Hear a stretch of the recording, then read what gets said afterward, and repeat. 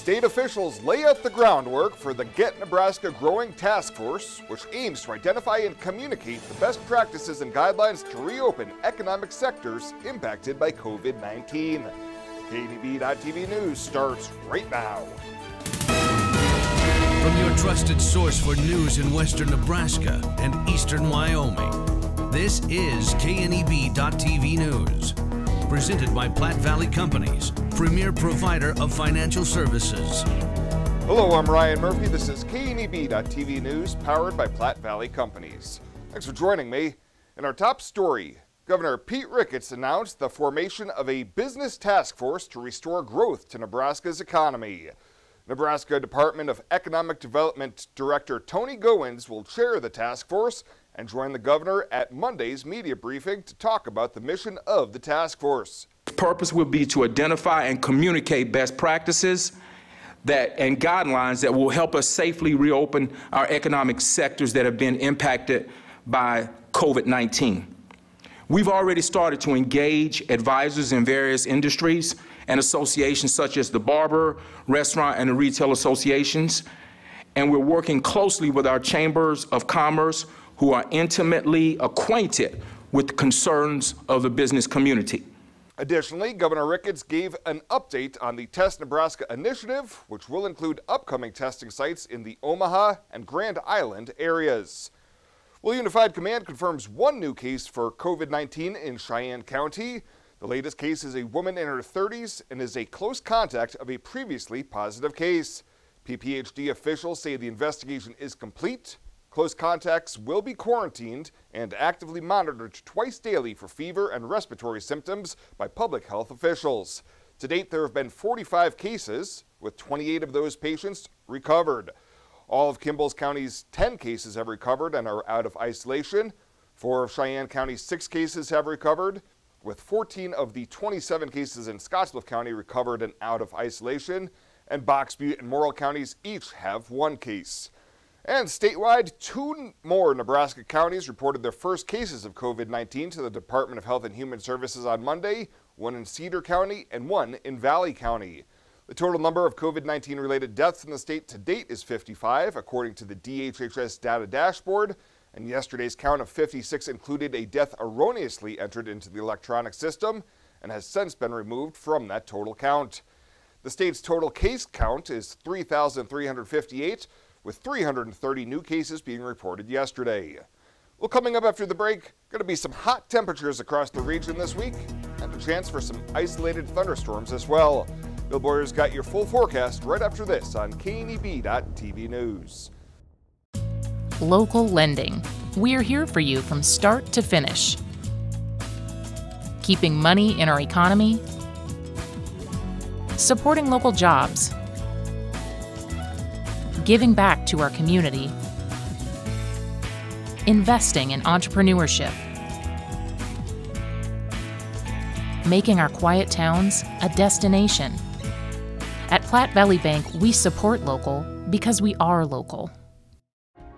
Take your career to the next level with Chadron State College's online Master of Business Administration program, taught by experienced professors who care about your success. The accredited, fully online MBA program is backed by CSC's more than 100 years of education leadership. Flexible, eight week courses let you work at your own pace wherever you are, and CSC's experienced professors are committed to your success. Chadron State College, real people, real results. Join us today at csc.edu.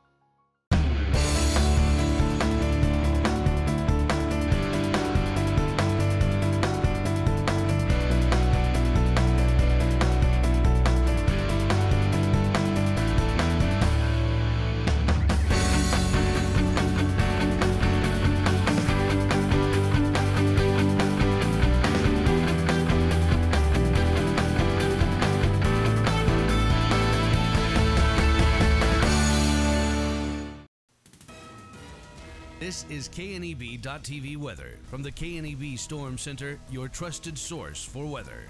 Quite quiet here across the region, other than the winds. The winds are still pretty gusty out here uh, as we go through the next couple of hours. They will come down overnight. Skies are going to be clear though, and we have sunshine breaking out for tomorrow. So winds will decrease uh, overnight. Tomorrow, really a fantastic top 10 day. uh, if uh, quite honest with you. Warmest day of the week is going to be Thursday before some rain and storms build in for the weekend. Hit 82 yesterday after a morning low of 40. Another trace of precip from some gusty showers that moved through last night. That's about it. Uh, 75 hundredths for the month and 220 for the year. As you can imagine, with all this uh, wind out here, we still have fire weather warnings. These are red flag warnings out for all of western Nebraska, northeastern Colorado, through most of the Cornhusker State till 8 o'clock tonight. Those high wind warnings up in portions of, of uh, South Dakota. And this flood advisory, it's covered up. You can't see it, but down here uh, around uh, the Lewellen areas where that flood advisory remains in effect. Temperature wise, right now, not bad. 66 in McCook, it's 65 in Hastings, 79 in Hayes. Certainly a lot cooler than where we were yesterday. Not upper 70s and low 80s, but low to mid 60s for most of us here across the region. Ogallala at 67 and 57 as you cut across to the northwest up around Lusk. Boy, here's the story though. Winds, they are howling still. 30 mile an hour sustained winds all across uh, most of the region here. 25, 30, 35 gusts over 45 at times today. Uh, gusts even approaching 50 in many areas. It has been a windy, windy afternoon and will be a windy evening. But really, by 9, 8, 9 o'clock tonight, winds will die off pretty quickly. So here by 8 o'clock, we see clear skies and uh, winds subsiding overnight. Uh, they'll get uh, down into the uh, 5 to 10 mile an hour range, much more manageable. Lows tonight going to be in the low to mid 30s here across western Nebraska and southeastern Wyoming. Back to tomorrow. Uh, we're going to start the day with sunshine. We'll roll through the early afternoon hours, and it's going to remain sunny out there. Uh, not much going on weather-wise into tomorrow evening. Still lots of sun and quiet conditions here across western Nebraska and southeastern Wyoming, really all the high plains tomorrow. And the warmth builds back into the region. We're going to be in the low to mid 70s tomorrow. Really a fantastic day tomorrow, and it's going to turn downright warm uh, as we go into Sunday. And you can see nothing uh, here over the next 36 hours in terms of precip. Let's look at uh, tonight's lows down around 34. Gusty winds diminish after midnight, 20 to 40 mile an hour early, down to 5 to 10. Otherwise, just lots of stars. Lots of sun tomorrow, a sunny, gorgeous day, 75. Uh, that's about perfect when you can say sunny and 75 and 5 to 10 mile an hour winds. Yeah, it's going to be a fantastic one tomorrow. Even warmer on Thursday, uh, highs uh, into the upper 80s. Not sure where all those hot messages uh, come along from in there. Uh, Friday, we're looking at uh, low 80s. Saturday and Sunday in the low 70s. Then Monday and Tuesday of next week, windier with the chance of some showers on Wednesday or Monday rather. Again, scattered thunderstorms start Friday all the way through the weekend into the early portions of next week as uh, it gets back to closer to normal here, but uh, certainly uh, at least going to stay a bit active and give us some chances of some much needed rain for the weekend. This is Karen's land. It's been here a long time, and so is she, along with Mojo. The first fence post went up here. Now there's 5,000 of them. After the storm, she started the cleanup here. This is more than just land, it's home. Karen runs with us on a John Deere 3E Series tractor because who says a day's work has to take all day? Nothing runs like a Deere. Search John Deere 3E Series for more. Visit 21st Century Equipment in Alliance, Torrington, Scottsbluff, and Bridgeport, or visit 21stcenturyequipment.com. As farmers make plans to return to their fields for spring planting, we urge farmers to be alert to the dangers of working near overhead power lines. Electricity is one of the most overlooked, yet deadly hazards of working on a farm. Beware of increased height when loading and transporting equipment on trailers. Avoid raising the arms of planters or cultivators or raising truck beds near power lines. So let's take extra caution this spring planting season. This message brought to you by Roosevelt Public Power District, your touchtone energy partner, the power of human connections. At TC and More in Scottsbluff, we have toys and puzzles for your children, or they make a great gift. TC and More has craft activities, pretend play toys, and dozens of puzzles and games for all ages. We also have the largest supply of Melissa and Doug toys, and we still carry all of your classroom essentials. Remember to like TC and More on Facebook. TC and More, 1621 Broadway, beautiful downtown Scottsbluff. Welcome back. The Platte Institute hosted a webinar late last week with Creighton professor and economist Ernie Goss to discuss COVID 19 and its impact in Nebraska's economy. According to their latest data, over the last five weeks, roughly 7% of Nebraska's workforce has made their first claims for unemployment benefits, resulting in a loss of 96,000 jobs, with a total financial impact of $834 million. Goss says his data shows that the ag sector here in Nebraska will also be hit significantly. And so the farmer out there is facing very tough times. And our numbers will begin reflecting that. But I would argue it's going to take some time to pick up the impacts in agriculture as we move down the road. Goss also says debt levels in Nebraska are rising, and bankers are reporting a 30% increase in delinquency rates on loan payments. Well, a 38 year old Gering man has been arrested following a 2019 investigation conducted by the Wing Drug Task Force. Christopher Gompert was arrested on Wednesday on two counts of distribution of a controlled substance. Court documents say that on two separate occasions on June 25th, Gompert sold $50 worth of methamphetamine to a CI working for the Wing Drug Task Force.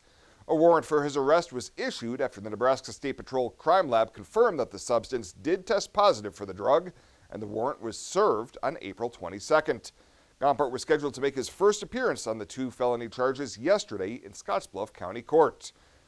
And coronavirus is having a devastating impact on our local, state, national travel and tourism industry and the entire American economy as a whole. Karla Niedan-Streeks with the Gering Convention and Visitors Bureau tells KNEB News that National Tourism Week 2020 commemorations locally will be held virtually with events recognizing the tourism industry's strength selflessness, and resiliency. Our Travel and Tourism Week observances for 2020 are definitely going to have a different look locally, regionally, and statewide. Um, we're going to be doing virtual activities. Uh, in lieu of being able to do our traditional in person uh, week of events, we've planned some what we hope will be very exciting um, and engaging um, virtual activities that will start on Monday, May 4th and run through Friday, May 9th. Contact Streeks or Brenda Lacey at the Scottsbluff Area Visitors Bureau for details on joining the virtual Zoom events next week. Well, coming up after the break, Chabela Guzman will be in with a check-in on Ag News. She'll have that right after this on KNEB.TV News. A guy brought me on a first date to Runza. And I'm like, are you trying to talk to me while I'm eating Runza? No, slow your roll. Don't get in the middle of this.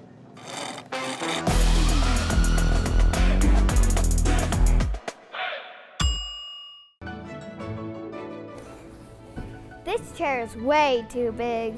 It's perfect for us. This one's tiny. That's because it's mine. Hey, this chair is just right. This bed is way too hard. It's perfect for me. This bed is way too soft. Ah, just what I needed. This bed is just right. So come on over to Leeds Heads! Small business feels anything but small.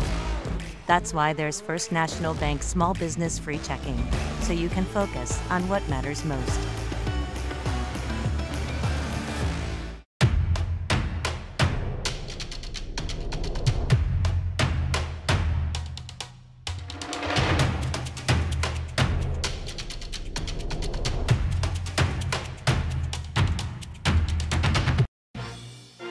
This is KNEB TV Ag News from the First National Bank Ag Desk. First National Bank of North Platte, the bank to think of first. The Bridgeport FFA chapter is getting ready to open up its greenhouse for the annual spring plant sale.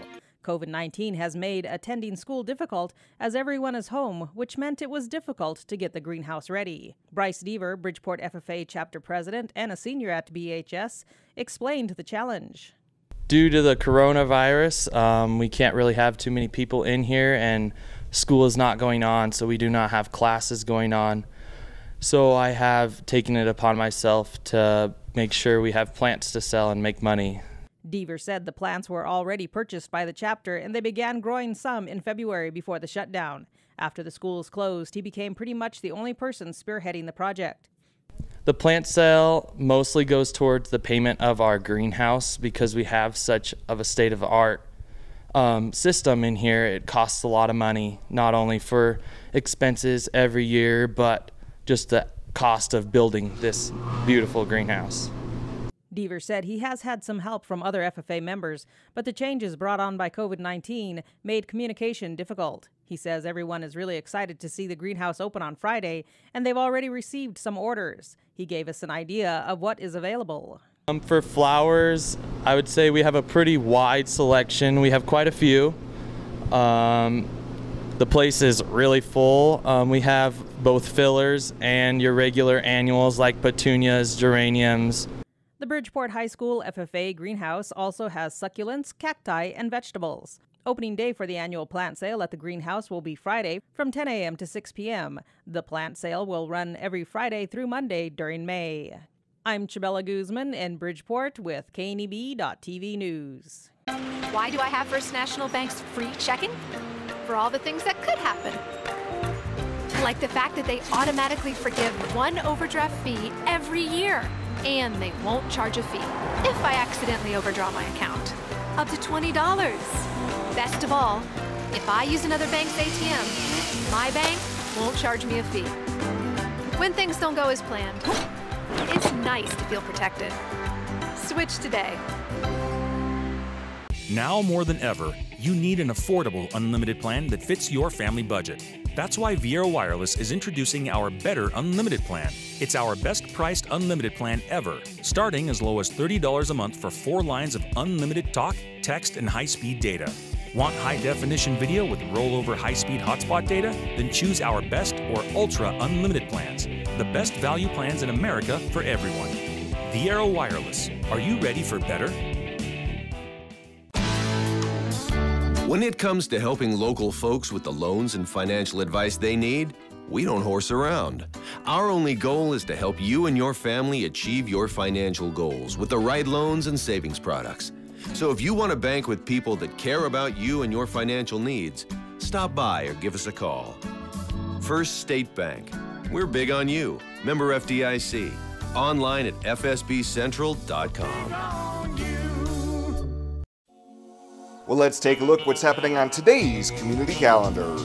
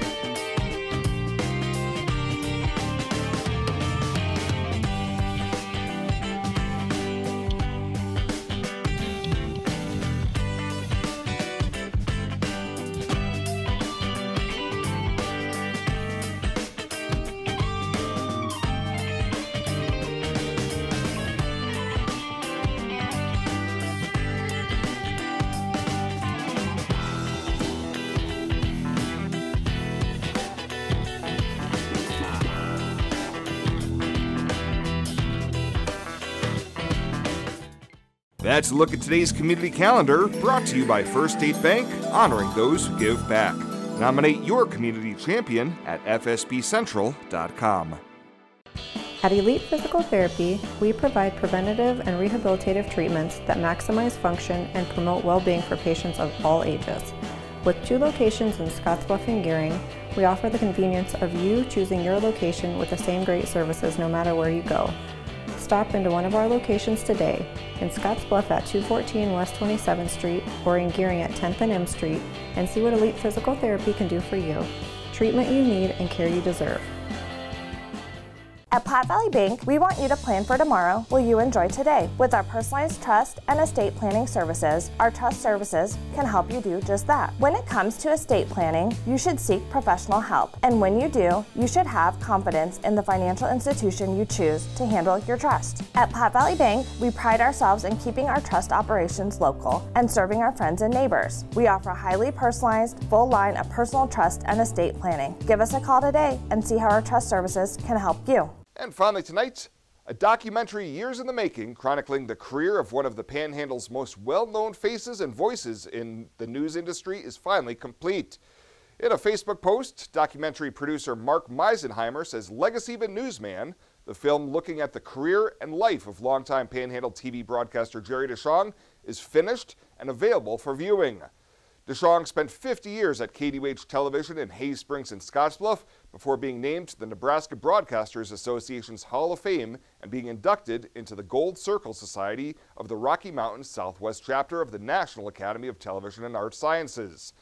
Meisenheimer, a former KDUH reporter, and fellow producer Jake Peterson made the announcement this week that the documentary was ready for viewing and says it's been an incredible journey.